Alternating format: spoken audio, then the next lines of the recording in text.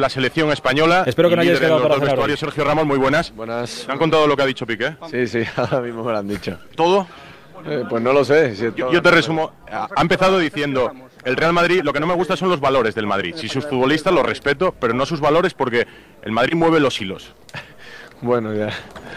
¿Qué quiere que os cuente? Sí, estamos para hablar de- del partido de Francia, pero como he dicho, con Piqué tengo un- una relación cada día mejor y, y en este aspecto, pues lo que diga Piqué obviamente no va a cambiar, ¿no? Ni los valores de, de nuestro club, ni nuestro escudo, ni la historia, ni los títulos. eh, por lo tanto, todo lo que yo pueda decir en contra de Piqué lo vais a, a utilizar para crear de nuevo un conflicto, pero Es que no lo has escuchado. Es que han sido 15 minutos gloriosos de radio. Es Yo que creo que eso le da portadas, le da, le da mañana pues informativos y bueno, vivimos de eso, ¿no? No, yo iba a decir, Sergio, que bueno, lo que ha dicho Gerard es que eh, en el palco del Bernabéu hay personas que mueven los hilos, que están junto al presidente Florentino Pérez y que mueven los hilos para que se beneficie al Real Madrid, para que se impute a Neymar o, a otros futbolistas. Bueno, pues bueno, ya se verá, ¿no? Yo creo que en todos los palcos se, se mueven hilos, no solo en el del Bernabéu, pero si hacemos un, un balance general, yo creo que, que este año tienen más que callar que, que nosotros. es una opinión irresponsable por parte de un futbolista. No lo sé, hombre, pero vamos a hablar del partido, de la selección, que hemos jugado de maravilla, hemos ganado